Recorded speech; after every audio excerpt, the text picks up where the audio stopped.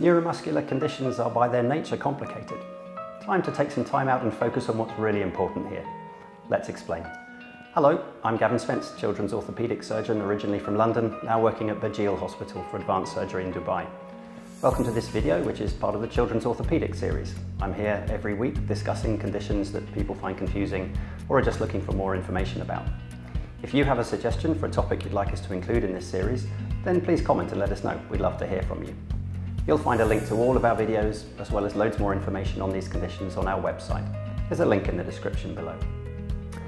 Neuromuscular conditions affect nerve tissue primarily, usually brain or spinal cord, so Cerebral palsy would be the commonest example. Spina bifida is another good example. The effects on the bones and the joints are secondary to that. And we orthopaedic surgeons, we normally get involved when there's a question about whether orthopaedic surgery can help with mobility problems. So in order to answer that question, there's a few important things to keep in mind as I understand it. The first is always to remember that neuromuscular conditions affect several body systems. It's not just about mobility. Children with cerebral palsy, for example, not uncommonly have problems with vision, with speech and language, seizures, behavioural problems, and so on and so forth. So it's really important to have a team-based approach to these problems and to try and work out what the priorities actually are because these children are at risk of having their entire lives medicalised if we're not careful and their childhoods disappear in a tsunami of different therapies and appointments. So important to focus on the priorities. Well, what are those priorities? Well, as regards orthopaedics, it's certainly not about correcting deformities just because we see they're there. It's not even about heroic attempts to get children walking when they're struggling to do that. It's actually deeper than that. So what we're really trying to do here is to help children lead lives that are as independent as possible and as integrated into society as possible. Why is that? Well, if you ask adults with cerebral palsy what they consider the most important parts of their lives, it's social communication and social interaction that they consider the most important. Mobility doesn't actually come that high up the list. So walking's important, but it's not essential.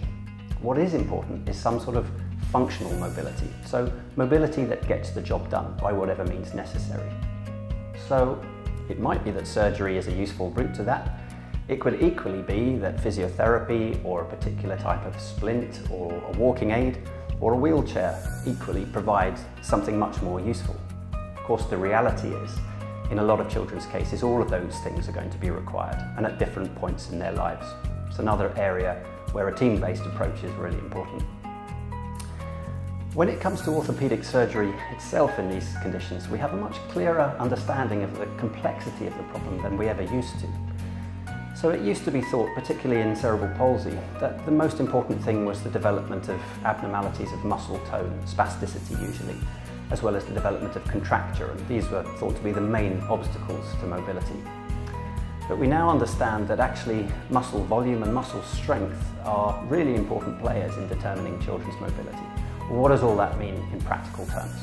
Okay, so consider two children each walking on their toes with a neuromuscular condition. That's a pretty common scenario in clinic. So the first child might be doing that because she has a structural problem. She's actually trying to walk with her heels flat on the ground, but can't. She's prevented from doing that. Whereas the child next to her, he's walking on his toes because he actually gets an advantage from it. Now, that might sound a bit strange because walking on your toes is a rather precarious way to get around the world. You're rather prone to falling frequently, but it does have advantages actually. If, for example, you find it difficult to get your knees straight, then walking on your toes helps you to do that.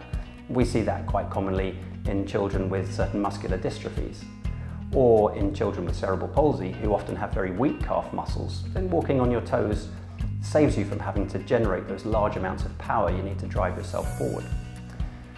So if you operate on the first child to get rid of the toe walking, you're probably going to do her a lot of favours. But if you operate on the second child, or do other things to take away the toe walking, like, for example, putting serial plaster casts on, or injecting Botox into muscles that are already weak, then sure, you'll take away the toe walking, but you're probably not going to do any favours in terms of functional mobility. So the interventions we use in neuromuscular conditions are actually relatively simple on the whole. The real tough thing is the decision making, and again, it's where a team-based approach is so useful. So one final point to make about neuromuscular conditions, and that's this. Everything I've talked about in this video up until now has been about disability. But of course, these children have abilities as well. They have interests and skills and talents, same as any other children do, and those deserve to be nurtured really.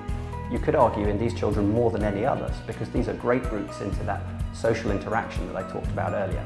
So our job as clinicians is to support that where we can.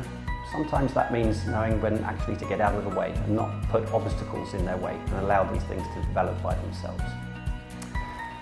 So that's all for this week. That's all on neuromuscular conditions. If you have any questions arising from topics raised in this video, please put them in the comments. I'll respond as soon as I can.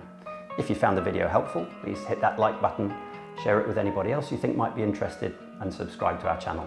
And I'll be back next week with another video in the Children's Orthopaedic series, taking kid stuff seriously.